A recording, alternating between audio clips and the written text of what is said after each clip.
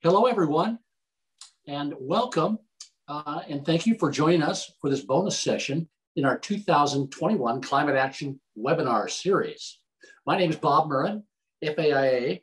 I'm currently the AIA California Secretary Treasurer, and I'll be your monitor, moder, moderator for today's segment. As you know, AIA California has developed an in-depth series focused on understanding and implementing the AIA Framework for Design Excellence.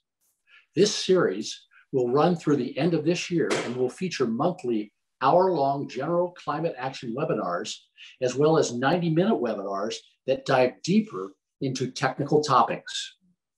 Additionally, AIA California has partnered with various organizations with like-minded goals to bring us bonus contents to you in the comfort of your own office, wherever you may that may find you. As always, all webinar content and additional resources will be available on the AIA California website shortly after each session. A quick, uh, a few quick housekeeping reminders before we get started. Number one, today's session qualifies for one AIA HSW learning unit for those watching live, and AIA California staff will report these units for you. The session's also being recorded and will be posted on the AIA California website with additional resources and a PDF of the presentation shortly after the presentation. And as a reminder, please use the Q&A function uh, in Zoom to ask any questions uh, for, our, for today's presenters. You can also like a question to move it to the top of the queue. On to today's webinar.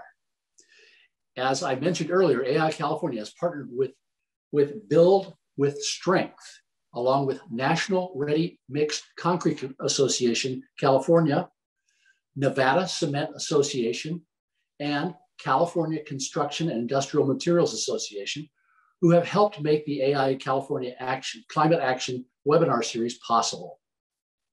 Today's webinar is the third in a three-part mini-series brought to you. In case you missed the first two webinars uh, on the top 10 ways to reduce carbon, uh, concrete's carbon footprint and specifying sustainable concrete, you can find these recordings, a PDF of the slides, and additional resources on the AIA, AIA California website. Today's webinar will focus on the latest innovations in concrete. Concrete is the material of choice for the tallest buildings in the world and infrastructure designed to last centuries. To meet demands for these cutting edge projects, concrete must be stronger, more durable, and more workable than ever before. This session explores how new products, manufacturing methods, and research are developing innovative concretes to meet these new challenges. Bendable concrete smog eating concrete, and carbon capture are just a few examples of new technologies embracing a product that is nearly 5,000 years in development. I'd like to quickly introduce today's presenters before finally handing it over to them. Lionel Lemay is Executive Vice President, Structures and, Structures and Sustainability for the National Ready Mixed Concrete Association, whose uh, initials are NRMCA. He leads a team of professionals to offer building owners and designers cost-effective, durable, and sustainable concrete building solutions through education, research, and design assistance. He has written many articles and books on concrete design and construction. He's a reg registered professional engineer and structural engineer in the state of Illinois. He is also LEED accredited professional. Mr. Lemay holds a bachelor and master's degree in civil engineering from McGill University in Montreal, Canada. Our other presenter, Donn Thompson, AIA, is Senior Director, Building Innovations for National Ready Mixed Concrete Association, based in Kenosha, Wisconsin. He supports the Build and Strength program, demonstrating the first cost and long-term advantages of ready mixed concrete building systems throughout eight Midwest states. He's a licensed architect and, and LEED accredited. Donn has over 20 years of practical experience in design and construction. More, most recently, he has worked for over 22 years in the cement and concrete industry, holding a variety of technical, promotion, and sales positions. Donn holds a BA and Master's in Architecture from the University of Illinois, Chicago. Take it away, Lionel and Donn. Thank you very much, Bob. Let me just go ahead and share my screen here and get started.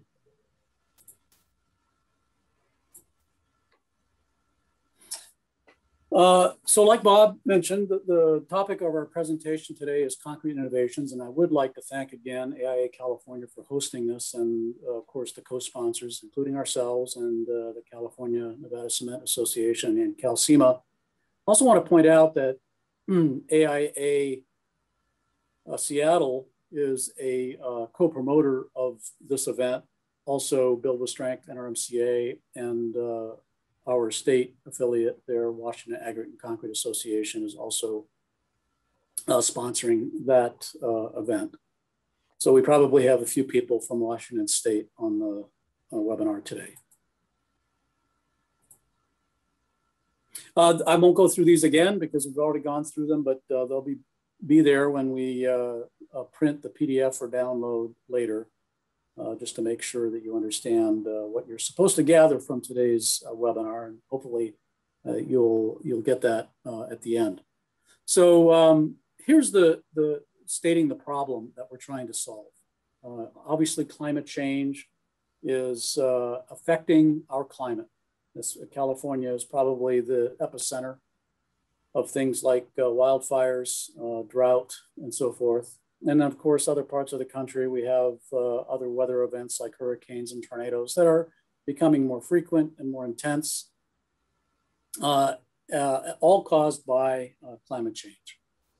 And the reality is that we are continuing to build because of our increased population and, uh, you know, um, increase in economic uh, development throughout the world. We are building a lot of uh, buildings and, and other infrastructure. 6.13 billion square meters of buildings are constructed every year. And that uh, emits over uh, 3.7 billion metric tons of CO2 each year.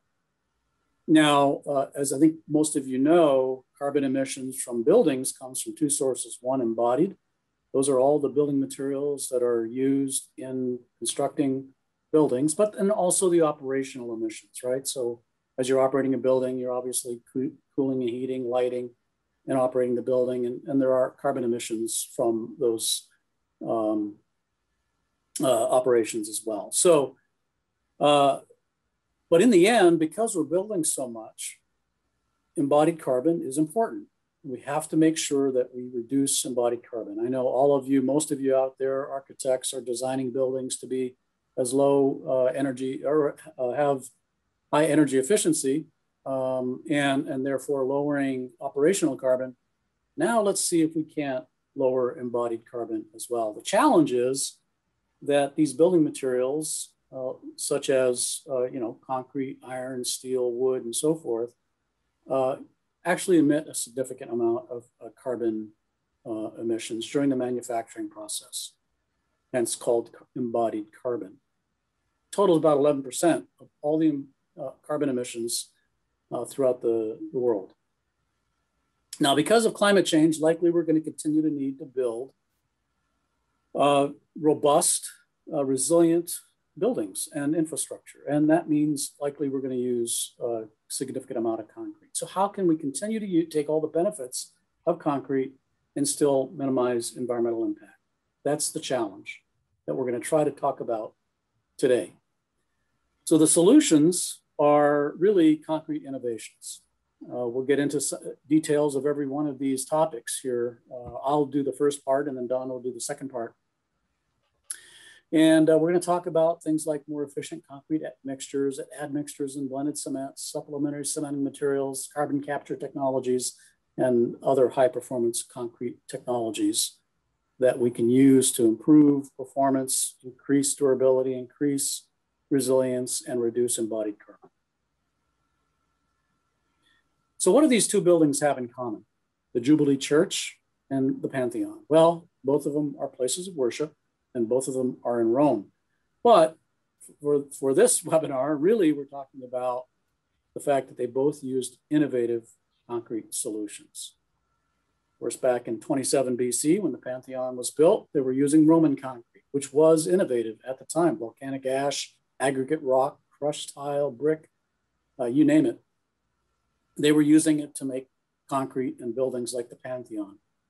The Jubilee Church that was completed in 2003, well, that used different uh, concrete, uh, still used the basic concepts of modern concrete, but they used photo, photocatalytic concrete that is uh, self-cleaning. We'll get more into that later. When you look at uh, modern concrete, it really was invented. The Portland cement, which is the main ingredient in concrete, was invented in 1824. Uh, you add that Portland cement to quarried aggregate and water, and you get concrete. Now, concrete's been around for a long time in this current form, and maybe it's not always synonymous with innovation, but really uh, the reality of it is that most concrete today uses some form of innovation. Let's get into the first one, which is supplementary cementing materials. Not all concrete has SCMs, but uh, most of concrete does. What is a supplementary cementing material? Well, it's either uh, in, in, in two categories, uh, pozzolan, uh, which is made up of either fly ash or some natural pozzolans, including volcanic ash uh, and silica fume. I'll get into some of the detail in a minute but it's uh, typically a siliceous or silicious or silicious and aluminous material with little or no cementitious value. But with moisture reacts with some of the byproducts of cement hydration uh, in a fine, because it's in a fine form, uh, to, to make more uh, hydration products. I'll get into that in a second, uh, to harden concrete. There's also slag cement, which is also a supplementary cementing material.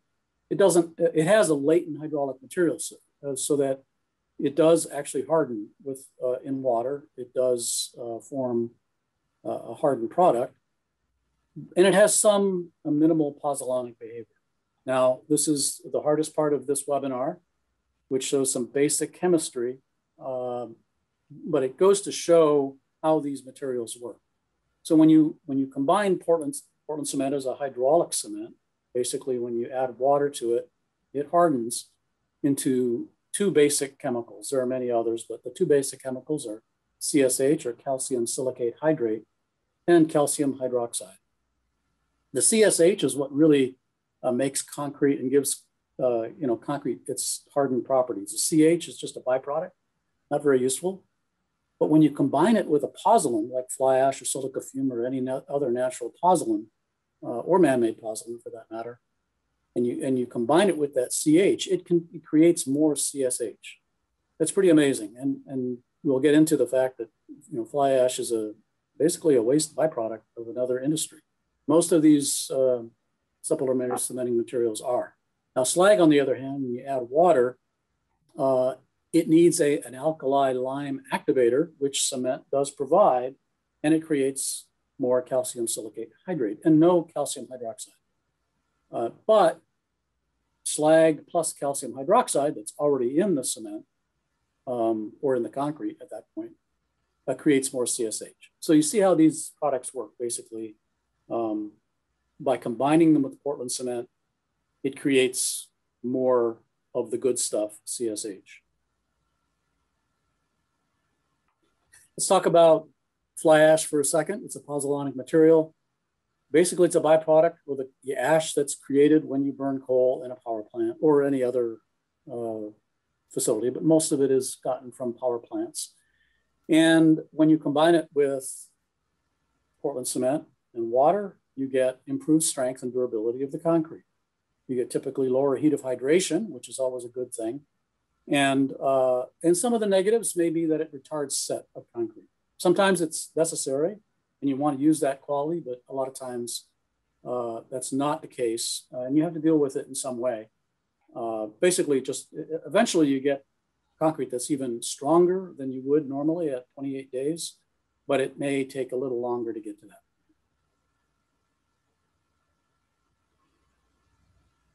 Now, what's really interesting is that uh, because our power system now is moving more towards renewables, there are fewer and fewer coal power plants that are in operation. Some of them are uh, being, uh, you know, brought offline, becoming obsolete. But the fact is, we've been burning coal for almost 100 years as a, as a nation. And for the first, you know, 50 years of that, or, or even more, uh, we weren't using much of that ash for anything, uh, basically landfilling it, fill, filling all of it. And there's an estimate that uh, we have over 1.5, maybe even 2 billion tons of coal ash in landfills. Now, uh, just to give you an idea, put a, put a number on that, we only use about, um, uh, if I remember right, uh, 14 or so uh, million tons of coal ash or fly ash a year. And, and there are some other coal ashes that are used for other, um, uh, other products and processes. Now, some of that ash in the ground is fly ash, and several of the coal ash or the fly ash manufacturers and distributors are now uh, treating that landfill. Basically, they're mining that fly ash and treating it in a process called beneficiation to meet construction standards by reducing the amount of unburned carbon that's in the fly ash, reducing the amount of ammonia in, in the fly ash, and then also adjusting particle size by uh, you know grinding the uh, this uh, waste byproduct. So that's that's exciting, you know, because uh, the fact is we have this incredible resource. Even if all the coal power plants go offline, which I think everyone agrees is sort of a a goal of if, if we want to have all renewable energy, we still have this reserve that could last over 100 years of, of this, uh, this byproduct. Now, you know, it's not going to be as cost effective as it is today, and there's going to be some energy that's required to do some of the beneficiation. For the most part, it, it's a, a really valuable product that we need to take advantage of. Next, I'm going to talk about slag cement. This is the second most available material. It's used as a SCM in concrete. It's basically uh, uh, made by quenching molten iron slag. That's the material that comes to the top uh, uh during a, a blast furnace process for making steel. And uh, it's quenched very quickly with water and it produces a glassy granular product that is then ground into a fine powder. Uh, when you combine it with cement, you know, Portland cement in concrete, it protects against sulfate and chloride attack. It lowers the heat of hydration. It produces a much whiter and brighter concrete. It usually re, uh, results in less permeable concrete uh, higher strength concrete, but it also retards the set just like fly ash. So it takes a little longer to get to that ultimate strength. And finally, I'm going to talk a little bit about silica fume or microsilica, which is an ultrafine powder, a byproduct of producing silicon metals or ferrosilicon alloys, which is the, it's, it's almost, it's super fine, uh, finer than the other SCMs. Uh, basically, it's the smoke that's produced uh, from that um, that process, mic one micron in diameter, approximately 100 times smaller than the average cement particle. And it reacts with CH to produce more CSH, just like fly ash.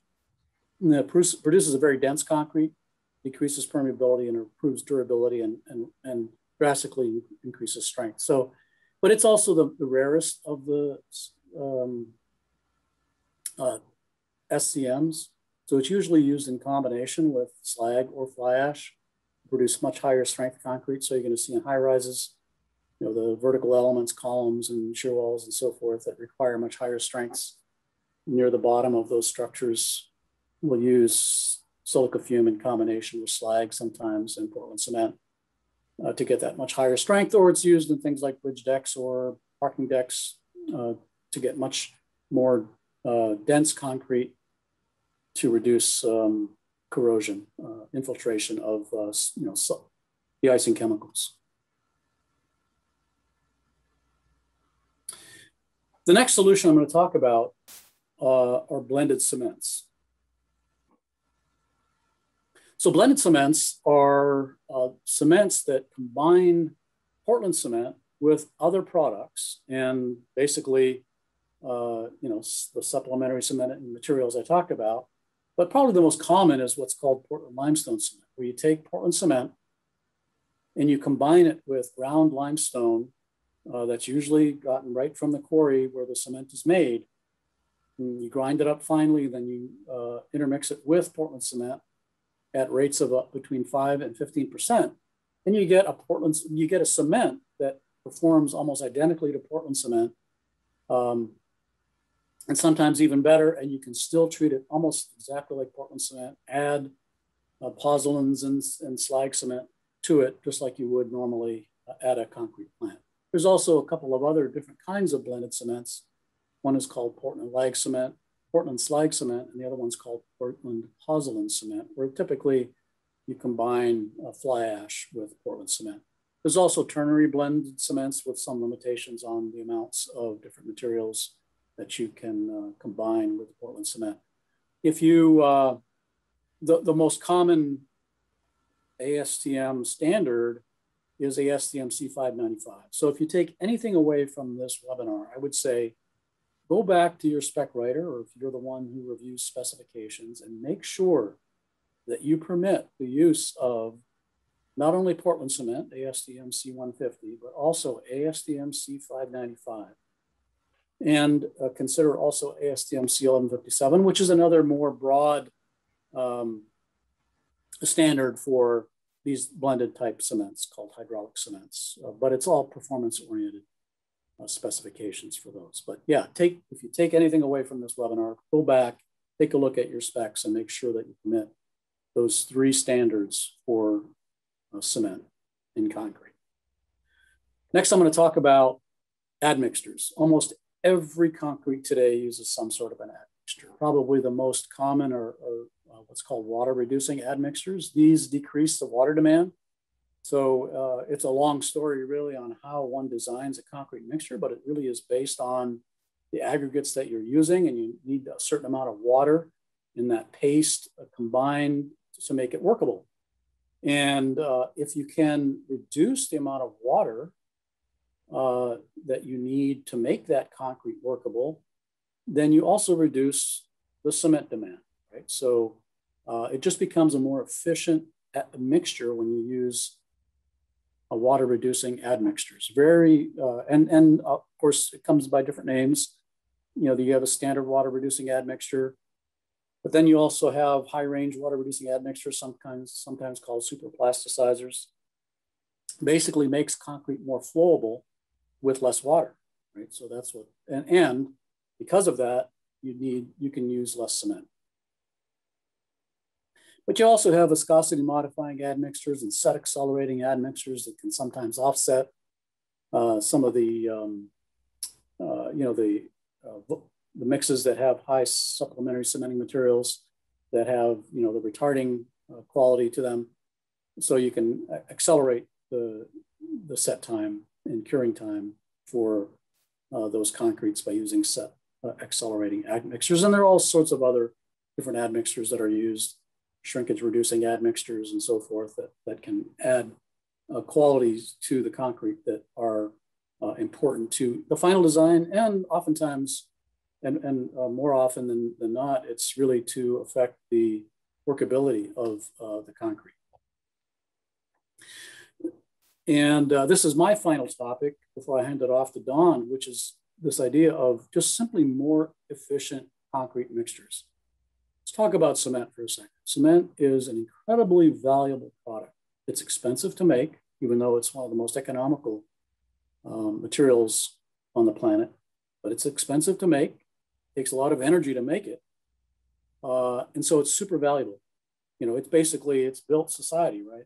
Every one of our homes probably has concrete foundations and maybe even some concrete superstructure. Every one of our buildings, uh, and, and bridges and roads and everything else uh, uses concrete in some way. So we just can't waste this incredibly valuable material. And by being more efficient in, in the mixture design, mm, by basically optimizing the cement content in concrete, you can actually lower the embodied carbon of concrete by doing that. We suggest using what's called performance-based specifications, which we talked about in the last webinar, and you can still watch it on the AIA California website on specifying sustainable concrete. The idea behind performance-based specifications that is that you simply uh, don't provide limits on the materials and quantities uh, of the concrete mixtures. Basically rely on standards that have been developed by experts in the industry uh, to uh, place limits on those materials. There are some limits in the standards, but there's no need to provide additional artificial limits in the specification. So oftentimes we'll see maximum cement contents or minimum cement contents, maximum fly, you know, SCM contents, fly ash slag, or minimum cement contents. The limitations on what admixtures can be used and so forth. And we're saying, wait a minute now, standards take care of all of that for you. We also say uh, that we should have qualified uh, producers who can work with contractors to meet your needs, right? So architects, engineers, owners all have certain performance needs for the concrete, whether it's strength or durability or flowability or you know set time and so forth. You need to be a qualified producer to be able to make those um, those concrete. So we're suggesting that you know you specify NRMCA sort of qualified plants and technicians. And we also concrete is very sensitive to testing. So if you don't have qualified laboratories or testing uh, technicians on a project, uh, they can basically drive up cement demand. Again, this is a whole whole course, but uh, basically how you overcome testing that's not done to standard uh, because what typically happens is you get strengths that are below specified strengths. And to overcome that, you have to add cement to make the concrete stronger. And so, um, you know, if, if, testing is done correctly, then you can be way more efficient in uh, your mix designs. Uh, you see on the screen here the guide to improving specifications for ready mix concrete. Uh, you can get that off of our website. And uh, I would suggest that you do it. And uh, Donn is actually going to talk about how we can even work with you to help improve your specification. Uh, finally, a, a, case study, and we have several case studies in this presentation. Uh, this one is happens to be 102 Rivonia Road. This is a, a project in South Africa that uh, met the, the highest level of green standards, and they used almost every one of these innovations that I've talked about so far um, and, and they were able to demonstrate that they had a project that was 50% more sustainable than the average office building using uh, a high volume of fly ash to reduce the overall carbon footprint of the concrete by 30%. So you can get the idea that uh, you know all of these technologies or innovations can add up to a significant amount of reduction in embodied carbon footprint. And when you combine more of them, and you're going to hear some from Donn here, when you combine all of these, you definitely can reduce carbon footprint significantly and even have a, a higher performing concrete as a result. So with that, I'd like to pass it off to Donn. Great, thank you, Lionel. And thanks to everyone for joining us today. Pardon me. I'm going to cover the uh, last two solutions that we wanted to talk about, the last two bullet points, and I'll start with the carbon capture technologies. This is something we're really excited about as an industry. It's based around the idea that through the process called carbonation, uh, carbon dioxide is able to penetrate the surface of hardened concrete and chemically react with cement hydration products to form carbonates. Um, it's a process that's essentially reversing um, the process called calcination when Portland cement is manufactured. Uh, limestone is combined with a variety of materials heated to high temperature. And in that process of converting that limestone into what is called clinker, which is then combined with gypsum to create Portland cement, that chemical process releases carbon dioxide, which then um, accounts for the majority of the embodied carbon footprint of ready mix concrete. So through this carbonation process, it's kind of a natural way that um, the limestone components within the um, uh, ready mix concrete is trying to convert back to its uh, um, uh, carbon uh, origins. So for in-service concrete, this process is very slow. But given enough time and under ideal conditions, um, you're able to, you would theoretically be able to convert all of the CO2 uh, released during that calcining process, you'd be able to convert it all back into that uh, limestone mineral within the uh, concrete. What's important to keep in mind is when CO2 is absorbed by concrete, it is permanently mineralized. So it can never be re-released back into the environment. So it's, it really offers a permanent solution for the CO2 that is absorbed by the ready mix concrete. Now this uptake is greatest when the surface to volume ratio is high.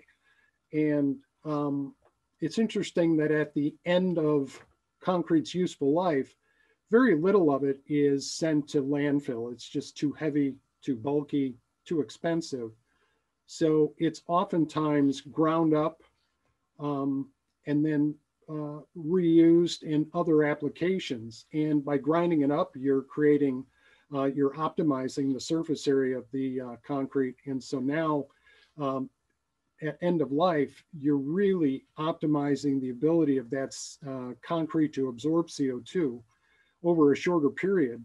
And ideally, if that crushed concrete could be left exposed to air for one or two years before reuse, you'd really be enhancing this natural um, uh, carbonation capability. Uh, there was a study done, it was released in 2015, and it looked at the um, estimated uptake of CO2 in concrete put in place hardened concrete put in place throughout the world from the period of 1930 to 2013.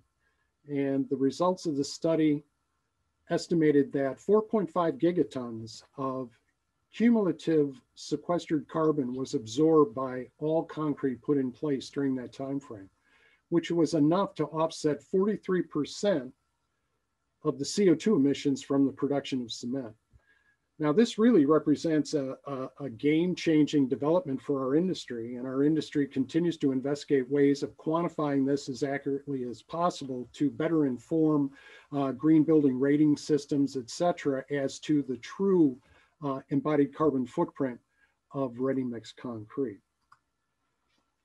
So there are a number of entrepreneurs that have taken this natural carbonation process and incorporated it into different manufacturing processes for uh, creating ready mix concrete or other types of concrete products. So for example, here's a product or a, a um, development that is uh, available in the marketplace right now. There's over a hundred of installations of a technology that allows for the injection of purified liquefied CO2 into ready mix concrete during the mixing operation in doing that, you're sequestering a small amount of the CO2 that's actually injected into the concrete.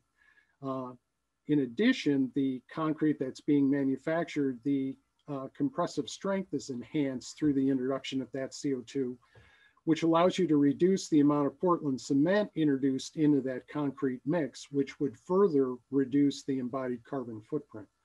Like I said, there's over 100 examples or installations of this technology available throughout the country. So this is a uh, technology that's readily available um, uh, throughout the country. Here's an example of a project that was done using this type of technology. Uh, it's a 360,000 square foot office building done in Atlanta, Georgia. Uh, it consumed 48,000 cubic yards of this carbonated concrete, which uh, was responsible for sequestering or permanently mineralizing 680 metric tons of CO2, equivalent to the amount of CO2 absorbed by 800 acres of forestry in one year. A second example of this enhanced carbonation process is um, taking specially formulated cement. And when this cement is manufactured, the originators of this process uh, use um, kilns that are fired at lower temperatures and they claim there's significantly less limestone used as well as uh, uh, fewer CO2 emissions and overall uh, a 30% reduction in the greenhouse gases um, produced when the cement is actually manufactured. And then you take that specially formulated cement and you manufacture uh, different types of, of concrete products. In this example, you see uh, precast concrete floor planks being manufactured. And so they're made with this specially formulated cement, and then they're taken into curing chambers that are CO2 uh, rich curing chambers so that they're able to absorb additional CO2 uh, in the curing process. And uh, the developers of this process claim that um, there's about 5% of equivalent to 5% of the weight of the concrete material in sequestered CO2 uh, through this process. And overall, they claim that the concrete produced in this process has a embodied carbon footprint reduced by 70%. Um, there are uh, efforts being made to introduce this process into ready mix concrete, but currently uh, there's um, market viability for the use of this technology for precast applications. Here's a third enhanced carbonation process. Now this is not yet market viable, but uh, we're hoping and we're very excited about this process uh, coming to market um, sooner rather than later. It involves the ability to create synthetic limestone. And the developers of this process use a, a uh, proprietary bath that's been seeded with uh, small rock or recycled concrete particles.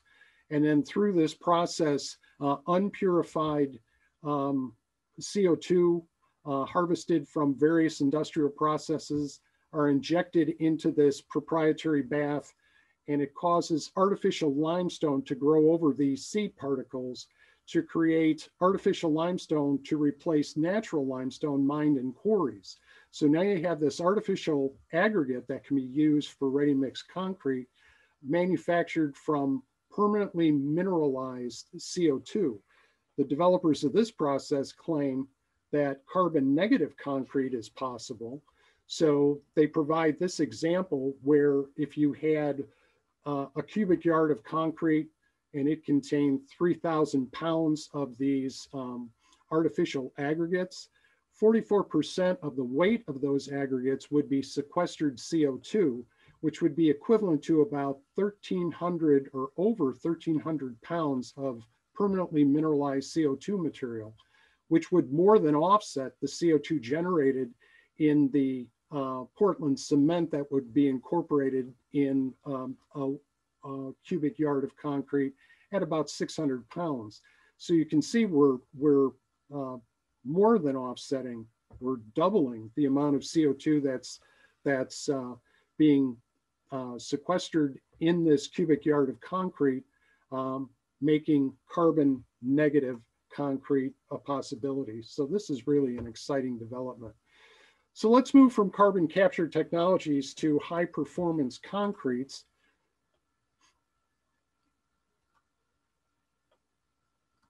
Let's talk about bendable concrete. This is a concrete where very tiny fibers are dispersed throughout a, a concrete mix.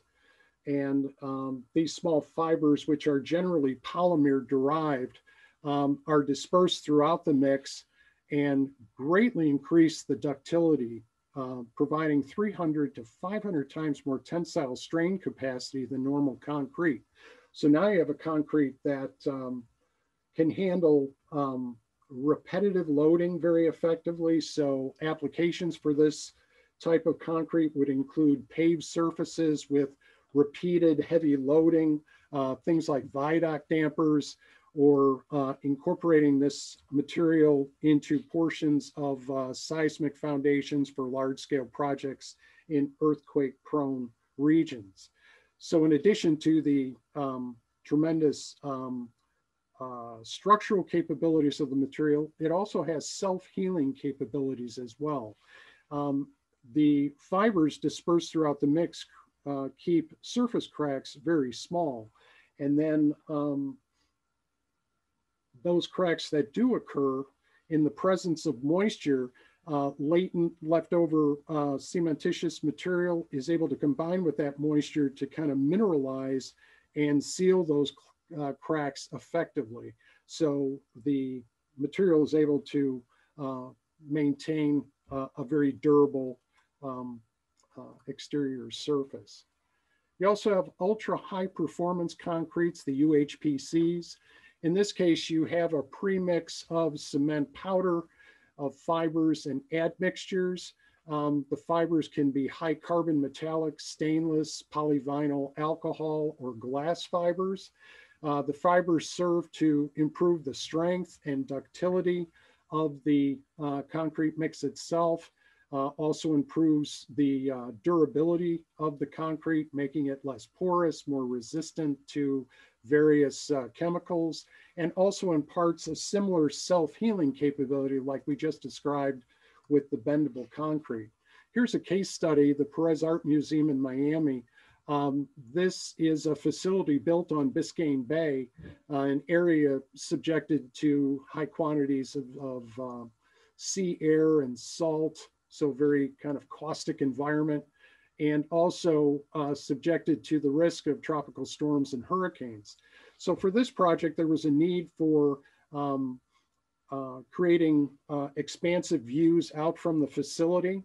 And yet they had to keep in mind that they needed to uh, respond to uh, Florida hurricane resistance, uh, building code requirements for hurricane resistance.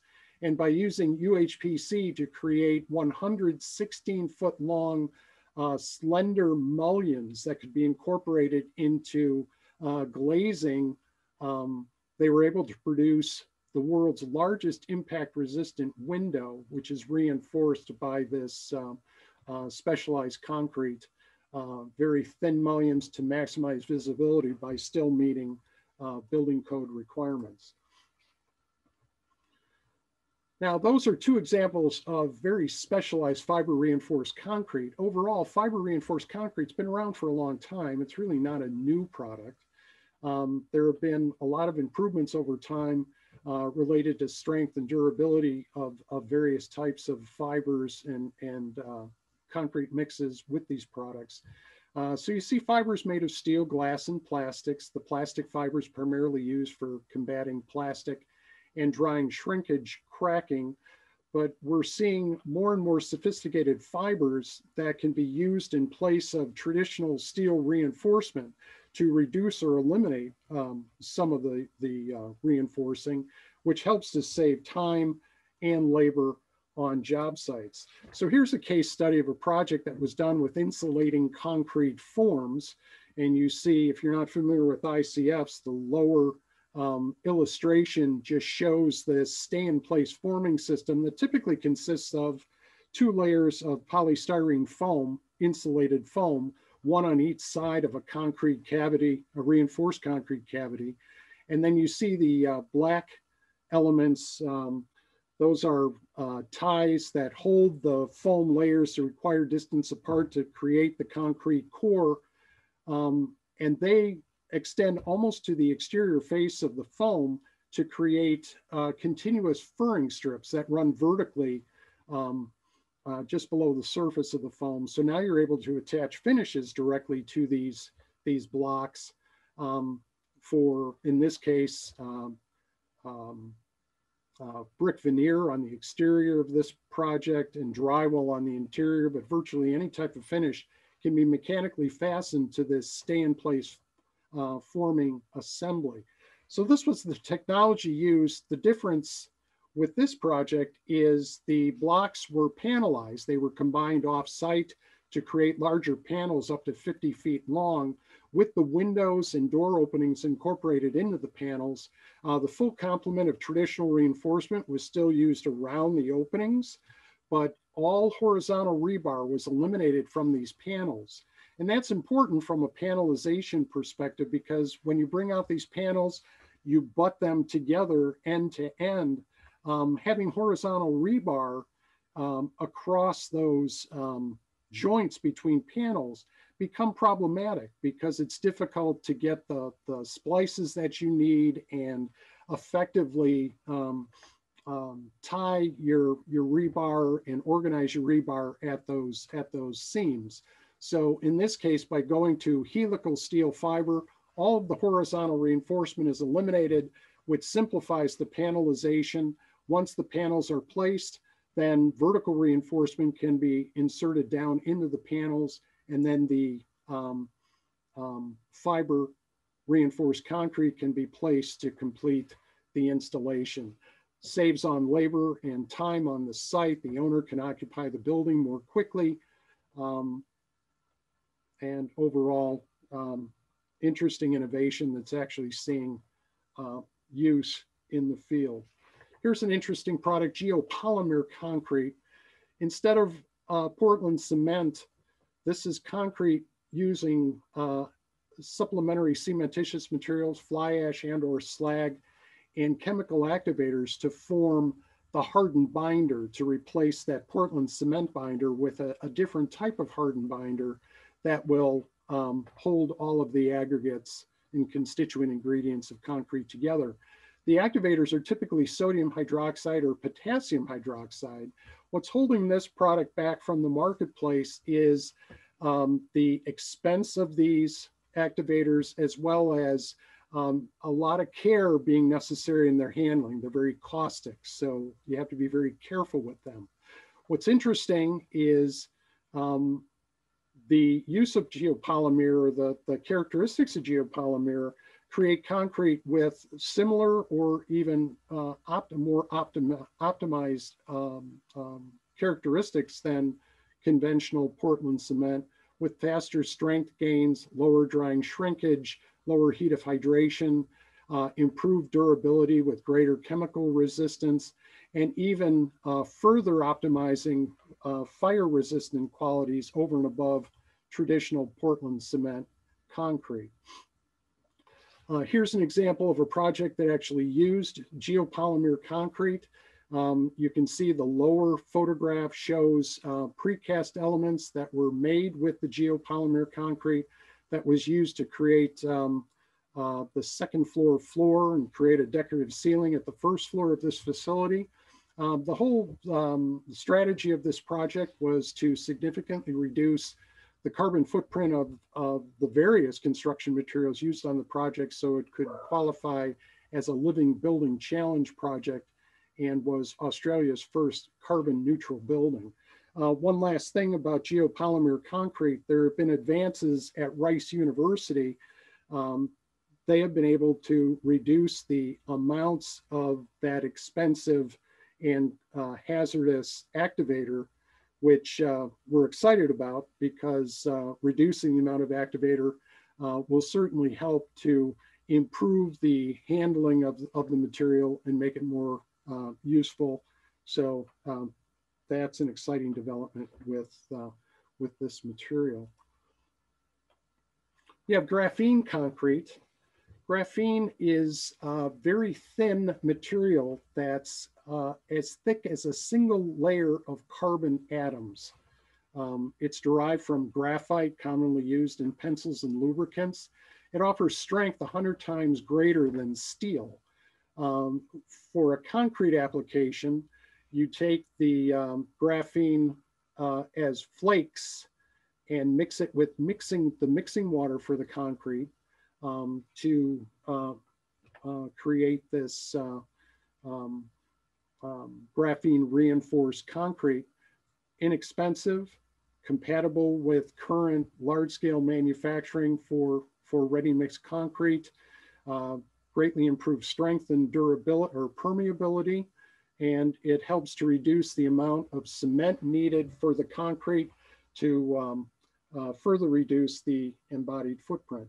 Uh, going back to Rice University, they recently announced a breakthrough uh, being able to derive uh, graphene from um, recycled tires, which um, will create another source of graphene material that uh, should enhance the uh, market viability of this product. then you have self-consolidating concrete. Um, it's a highly flowable concrete, non-segregating. Lionel talked about admixtures and certainly the use of plasticizers, viscosity modifiers to help with the flowability of this mix is very important. It can be placed faster than regular concrete. Um, the challenges that we're seeing more and more are more and uh, more dramatic shapes and configurations in, in the projects that are demanding concrete.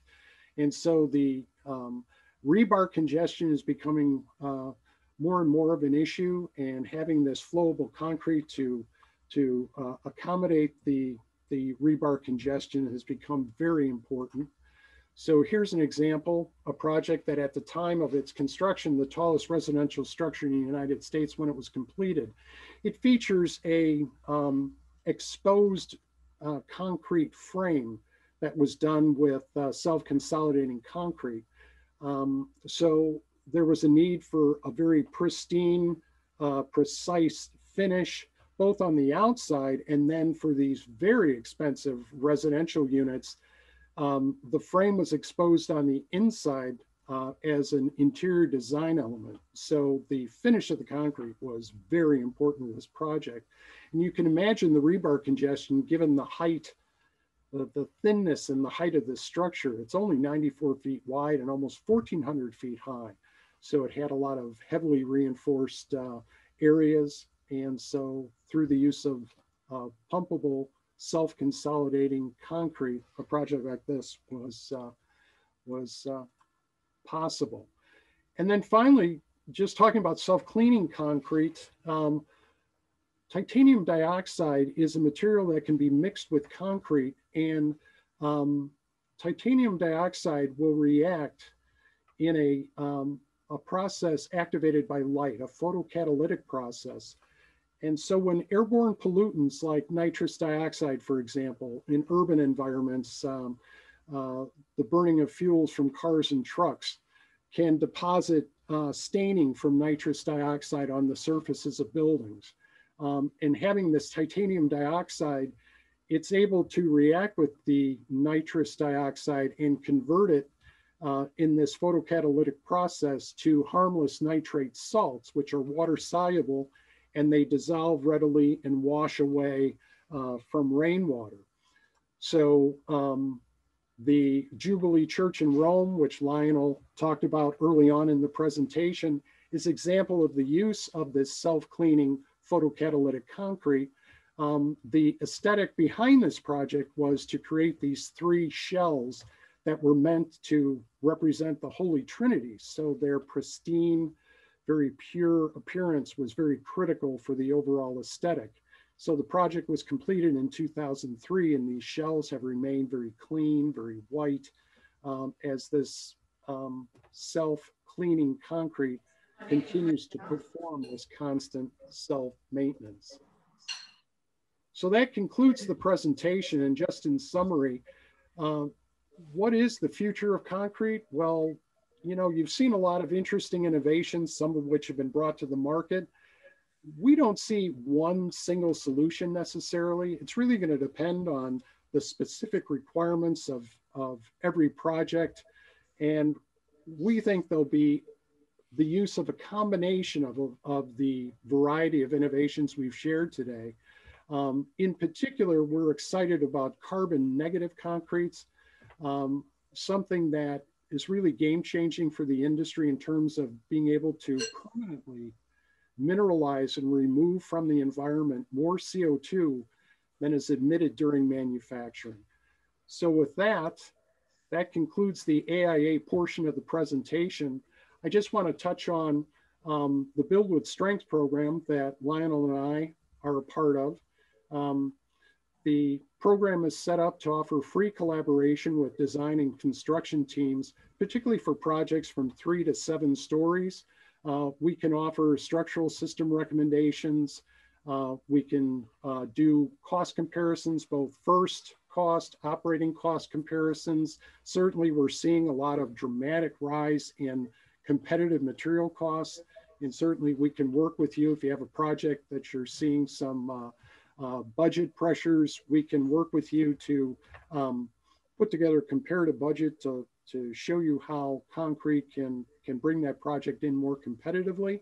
We can offer pro also provide specification reviews um, to help optimize your specifications based on some of the things Lionel spoke to uh, regarding moving more towards a performance-based specification to provide more flexibility for your local concrete producer to meet the um, sustainability requirements of your project.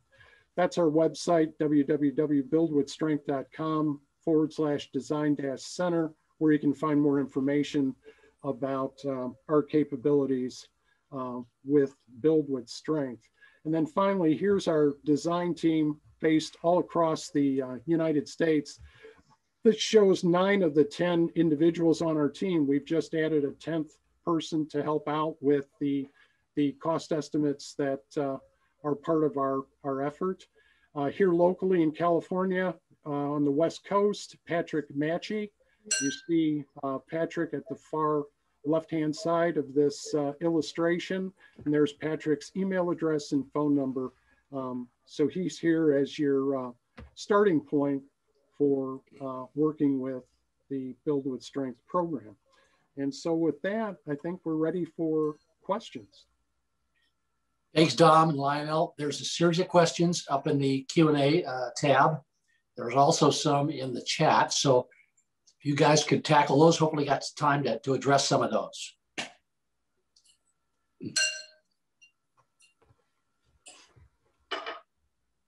Have you got access to the Q&A tab or shall I read them to you? I think it's best if you read them, Bob. All right. Um, hopefully we can get through these. There's got nine of them in the Q&A and there's probably some more in the chat. So reading from the Q&A, there's a trend of over ordering by contractors due to the cost of the job site and limited costs of the return concrete. Overall, 5 to 10% of concrete is returned to the plant unused. Would it not be a huge contribution in reducing footprint and add profit to the bottom line when more concrete would be reused in the plastic state? Are there uh, objections, blockers to plastic reuse? Uh, more concrete and less sending this to reclaimers in the dump, uh, the sustainability contribution would be significant. Yeah, uh, I can tackle that one. Yeah, I mean, I think there are some barriers, uh, some objections, right? Um, unfortunately, uh, you know, on commercial projects, likely a spec would not permit the use, the reuse of, of, of returned concrete, let's say on another project. There are some uh, specifications that do uh, ASTM specifications that will permit it. And there are some projects that would allow for the use of concrete. So I would say the less technical projects where, you know, uh, for example, uh, maybe a residential project that only required 3000 PSI concrete, but you're getting return concrete that's 5000. There's, uh, there's no reason why you couldn't batch over top of that concrete to, to make concrete that maybe is 4000 PSI still meets all the requirements uh, of a residential project. I think it probably makes sense that um, that concrete that is returned somehow get at least permitted on certain projects over certain applications on commercial projects. and, and, so, you know, I think it's there's a paradigm shift there, right? So we have to work with specifiers, uh, architects, engineers like yourself to um, to make that happen. Great. You know, we we're approaching our time limit. Let's take one more questions, and then I understand you guys will address all of the, the questions that are in here that we don't have time to do. Looks like we've got 11 or 12. So the next question, maybe as we wrap up, is Is anyone aware of a hybrid concrete uh, graphene trials in North America? Um, I'll just mention, I'm not aware of one in North America. Lionel can perhaps address it, uh, that if there are. I just saw last week a trial done in Manchester in England, a gymnasium floor that was done using graphene concrete. And the engineer of record on the project estimated that they saved uh, 10 to 20% over the cost of conventional ready mix while improving the embodied carbon footprint by being able to reduce the thickness of the slab reduce the amount of um, material overall and reduce the amount of Portland cement in the mix itself. Great. So as we are at our, our limit of our time, uh, I do want to, uh, as I say, we'll, we'll respond to these questions in, in a follow-up. Um, but I, I really do want to thank you, uh, Lionel and Donn, and our partners at, uh, with, at uh, Build with Strength, uh, the NRMCA, the CNCA, and CalCIMA for this excellent presentation. If you made it this far, uh, the AI staff will submit you for AI uh, continuing education credit, and it should appear on your transcript in a few weeks. Uh, as always, more resources and tools are found on the AIA California's website at www.aiacalifornia.org slash climate action slash. So thank you again for joining us today, and we'll see you at our next climate action webinar. Thank you. Thank you. Thanks, everyone. Thank you, everyone.